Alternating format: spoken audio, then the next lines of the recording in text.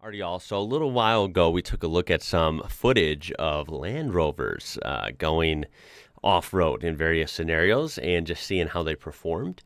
Uh, and I was very impressed. It was pretty cool. What I was most impressed with was actually seeing some like stock, like Range Rover Sports, on pretty thin factory tires, doing some work off road, getting some pretty treacherous situations, getting out of them lots of flex going on, finding traction. It was pretty cool. And uh, remember, I've off roaded for years and years. It's really one of my all time favorite hobbies. I don't do it so much lately just because of this phase of my life with other priorities right now, but it's always been one of my favorite things. And uh, in my experience around me in the US, uh, I don't really ever get to see uh, many Land Rovers off road at all. I, in fact, I don't think I've ever seen one. Now, I'm told to look at more. Uh, so, these couple videos, we're only going to look at a couple clips of. They're from long compilations, so they will be linked in the description down below. I highly encourage you to check them out and browse their channels uh, because a short clip from this of Ascent looks really cool. Uh, apparently, there's some flooded roads in the UK that can happen quite often, as we can see in this first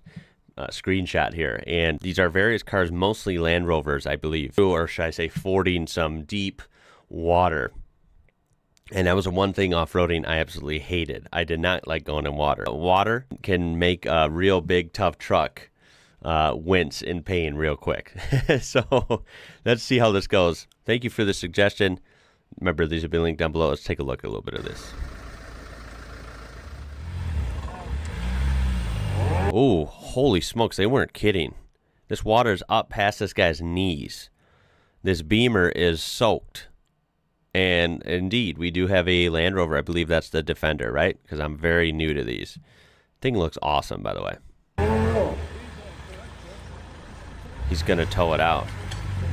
Or pull it out, whatever. Oh, maybe not. Ooh, ooh. Okay, badass. The thing's a diesel, right? That's why the black smoke. Although I have to say that was making me scared. That was he went in a little fast. The nose is literally submerged right now. Not a good feeling. You can hear it. You can hear the you can hear it bogging down. Jeez. Oh my god, look at the white smoke. Dude, he did get the engine bay soaked, man. Oh, come on, man. I imagine Land Rovers can ford some good, uh, good amount of water, but dude, can't be throwing it in there nose first. Any vehicle might have trouble then. What's that? A uh, Toyota? Pulling out that Beamer now? Okay. There's. Oh, is this the same one? Oh my God. At least they're going a little slower. Still just slightly faster than I would like. But that was better than the first time splashing it everywhere. Okay, we have another one back there. Damn. These freaking Land Rovers are awesome, dude. And we have a Kia. Not a big fan of that. See how it does, though. Uh-oh.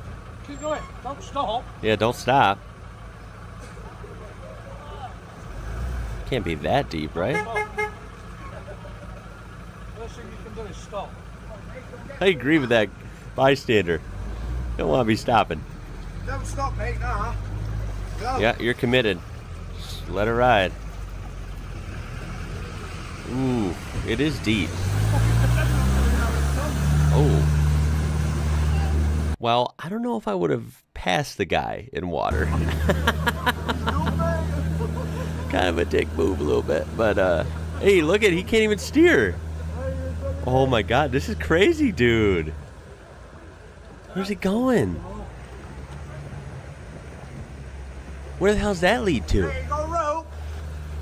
Probably not. Holy shit. The Kia did stop. To be fair, they're probably overwhelmed. Like, what's this guy doing behind me? God, that thing is cool. Cool, cool vehicle. Goofy driver, in my opinion. Especially splashing the guy. Come on now.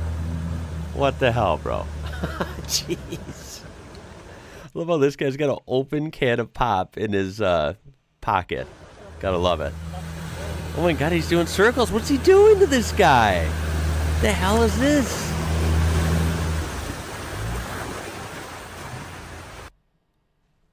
Call me crazy. That guy's an asshole, dude. Jeez. Oh, oh, ooh, something broke. What a nightmare. How freaking cool, though. You guys are lucky in the UK, man. This Kia SUV, look at inside. It's a stick shift. I just love how everything, like even random SUVs and just you name it, everything comes with a manual there. I know there's automatics too, but you can get a manual. Some cars here, actually, most cars nowadays, you can't even get a manual. And SUVs are almost always automatics here. I'm a, one of the rare exceptions. I do have a small SUV that is a manual here in the U.S., but that's rare. Okay, let's see the damage in the Kia. Oh man. Oh, that's rough. It's a doggo safe. Oh my god. Oh my god. Whoa. Dude. That's too fast. Holy shit, they got water on the roof.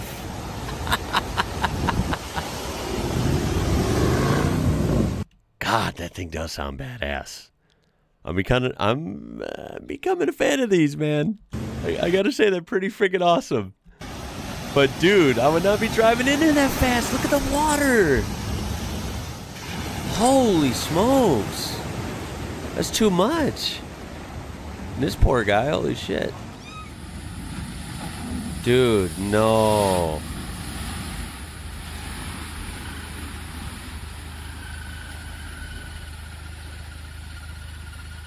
Now everything's squeaking. Dude, he might have. Did it stop running? Yeah, you can't be going in there that fast. Even if you're in a badass Land Rover.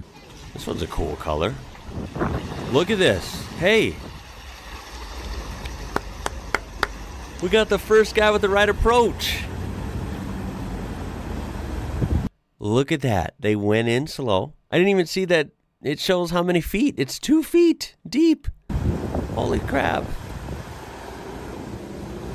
Um, yeah, they had the right idea. They went in real slow and then just kept a, just like a fast enough pace. It wasn't fast and it wasn't, they didn't stop either because that's bad. But they didn't fly in and cause, you know, a tsunami, right? And cause everything to go over the hood and the roof of the vehicle. They went in real smooth and just kept that pace and then got out. Look at that. Nothing went over the hood like that. That's too fast, in my opinion. And then you get problems. You don't want water getting in all your seals and your differentials, up in the transmission. Oh man, you don't want any of that. And then of course the engine bay. Come on. We don't want wires and intakes getting soaked. Another one. While it's raining. Oh man.